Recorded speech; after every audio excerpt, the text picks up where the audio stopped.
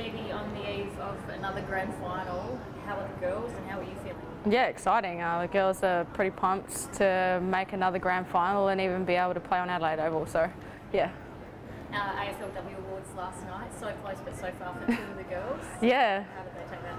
Oh, they're obviously um, amazed at actually polling so many votes, but it's even good to see Adelaide Crows even get close to that, um, especially with all the amazing female athletes that are in the comp at the moment. What would it mean to win um, your third premiership, Stevie?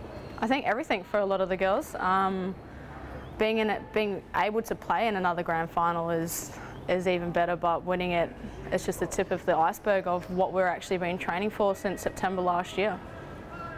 How does it feel in terms of some of the other premierships going into this one? How does this feel compared to some of the others? To be honest with you, they all they're all completely different. Um, we've all grown as um, individual athletes, and I know I've completely grown since being a little girl in 2017, scrawny, didn't really have much um, like muscle or anything, and going into it now, it's just like you you think you've got more to, to give, and you have a lot of support as well. So yeah. How can you best help the young girls that haven't played in the grand final before? Just be the leader that they've appointed me to be, and that's all I can do, and like communicate as much as possible, and allow them to enjoy the ride because it's been a long one, and definitely looking forward to it. As part of um, dealing with the nerves, just watching like a behind the scenes video from your last game, it's like a nightclub in the rooms.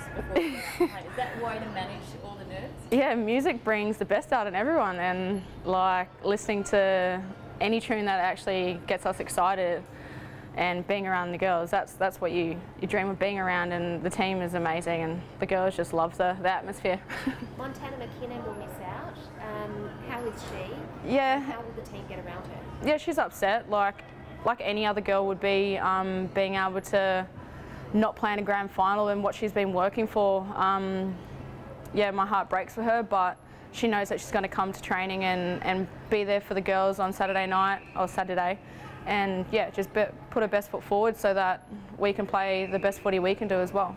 Does that, does that give the girls extra motivation to maybe try and win for her? Yeah, without a doubt. With any of the girls that don't get to actually play, um, we, we, we put our heart and soul for those girls that are sitting up in the grandstand because you'd want them to play in the team, that's for sure. So how's, how's recovery been? It was such a, a long break in between the last game. How's everyone pulled up? Yeah, everyone's pulled up pretty good, um, from what I see anyways. Um, all the girls are, yeah, recovery is a main thing in, in AFL, or any sport really, and they're doing the best that they can to play on Saturday. There's some suggestion that you might get a bigger crowd on Saturday than they had for Showdown. Is that what you're hoping for? Yeah, without a doubt. I think anyone would be hoping for a big crowd. Um, having 53,000 in 2019, that was still gives me goosebumps now. So um, having that amount would be amazing. Just on to Montana again. What has she brought to your side this year and what will you miss about her on the field?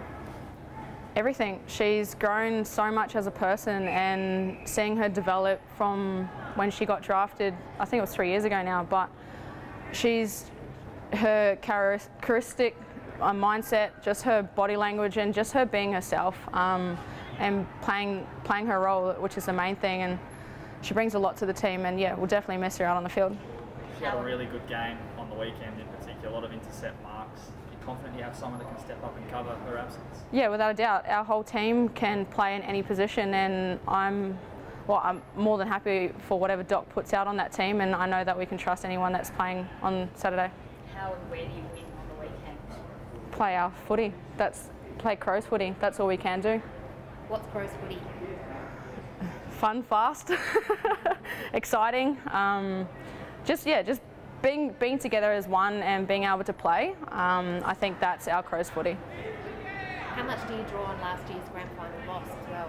Yeah, a lot. We don't really. I don't think any team wants to lose, um, and that's definitely a fire in the belly for us girls to play on Saturday.